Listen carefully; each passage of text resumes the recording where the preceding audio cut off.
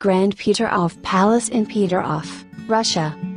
The Peterhof Palace is a series of palaces and gardens located in Peterhof, St. Petersburg, Russia, commissioned by Peter the Great as a direct response to the Palace of Versailles by Louis XIV of France. Originally intending it in 1709 for country habitation, Peter the Great sought to expand the property as a result of his visit to the French royal court in 1717, inspiring the nickname of the Russian Versailles. The architect between 1714 and 1728 was Domenico Trezzini, and the style he employed became the foundation for the Petrine Baroque style favored throughout St. Petersburg. Also in 1714, Jean-Baptiste Alexandre Le Blond, likely chosen due to his previous collaborations with Versailles landscaper André Le Nôtre, designed the gardens. Francesco Bartolomeo Rastrelli completed an expansion from 1747 to 1756 for Elizabeth of Russia. The palace ensemble along with the city center is recognized as a UNESCO World Heritage Site.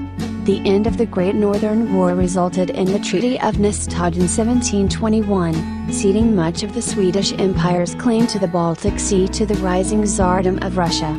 Peter the Great already began construction of his new capital St. Petersburg in 1703 after successfully capturing Swedish provinces on the eastern coast.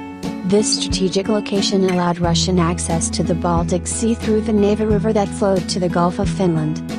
The island of Kotlin and its fortress Kronstadt northeast of St. Petersburg provided a gateway and commercial harbor access owing to the shallowness of water closer to the city.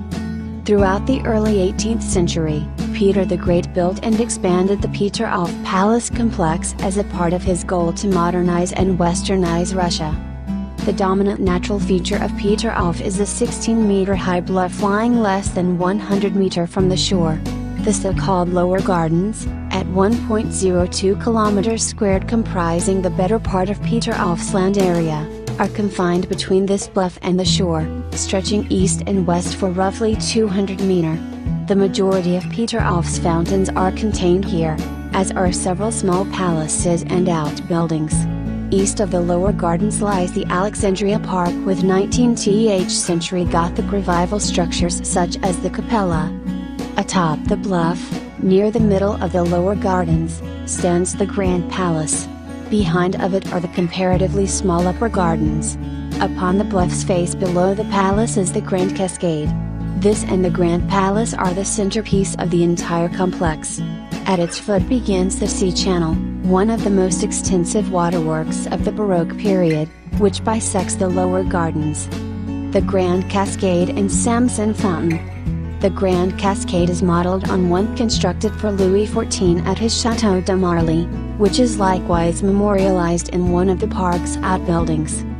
At the center of the cascade is an artificial grotto with two stories, faced inside and out with hewn brown stone. It currently contains the modest museum of the fountain's history. One of the exhibits is a table carrying a bowl of artificial fruit, a replica of a similar table built under Peter's direction. The table is rigged with jets of water that soak visitors when they reach for the fruit, a feature from Mannerist gardens that remained popular in Germany. The grotto is connected to the palace above and behind by a hidden corridor. The fountains of the Grand Cascade are located below the grotto and on either side of it. There are 64 fountains. Their waters flow into a semicircular pool, the terminus of the Fountain Line sea channel. In the 1730s, the large Samson fountain was placed in this pool. It depicts the moment when Samson tears open the jaws of a lion, representing Russia's victory over Sweden in the Great Northern War, and is doubly symbolic. The lion is an element of the Swedish coat of arms, and one of the great victories of the war was won on Street Samson's Day. From the lion's mouth shoots a 20 meter high vertical jet of water, the highest in all of Peterhof. This masterpiece by Mikhail Kozlovsky was looted by the invading Germans during the Second World War, see history below. A replica of the statue was installed in 1947. Perhaps the greatest technological achievement of Peterhof is that all of the fountains operate without the use of pumps. Water is supplied from natural springs and collects in reservoirs in the upper gardens.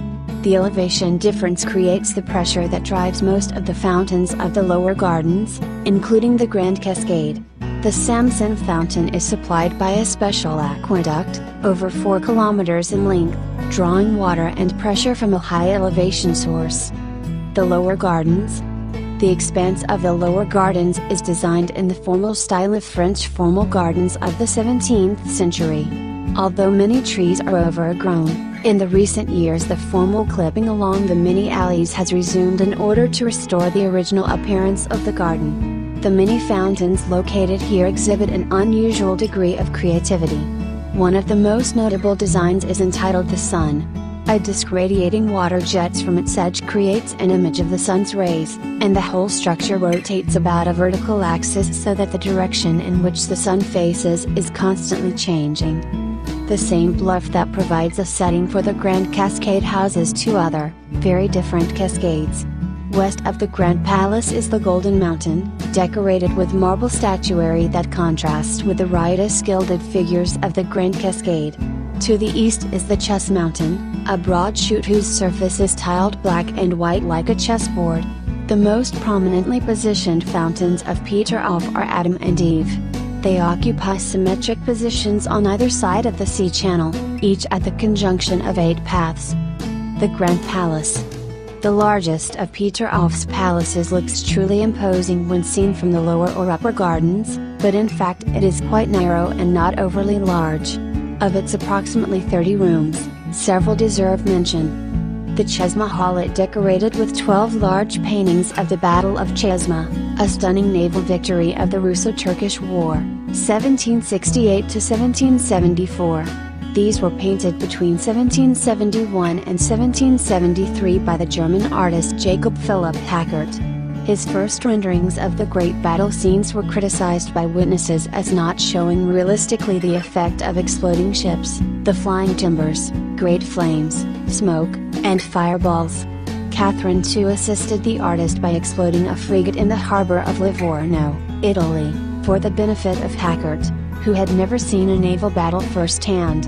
Hackert also did not research the actual positions of the Russian and Turkish forces during the battle, so the scenes depicted are somewhat fanciful, but do effectively convey drama and destruction of naval warfare. The East and West Chinese cabinets were decorated between 1766 and 1769 to exhibit objects of decorative art imported from the East. The walls were decorated with imitation Oriental patterns by Russian craftsmen, and hung with Chinese landscape paintings in yellow and black lacquer. Another room, positioned at the center of the palace, bears the name of the picture hall. Its walls are almost entirely covered by a series of 368 paintings, mostly of variously dressed women, differing in appearance and even age, yet most were drawn from a single model. These were purchased in 1764 from the widow of the Italian artist P. Rotari, who died in St. Petersburg. Other features the Grand Palace is not the only historic royal building in Peterhof. The palaces of Montplaisir and Marly, as well as the pavilion known as the Hermitage, were all raised during the initial construction of Peterhof during the reign of Peter the Great. The lower gardens also contain a large greenhouse, and in the Alexandrian Park stands the Palace of Nicholas I. Like the lower gardens, the upper gardens contain many fountains, distributed among seven broad pools. The landscaping, though, is entirely different, unlike the lower gardens, which are strictly geometric. The upper gardens are not. A few of the fountains have curious sculptures.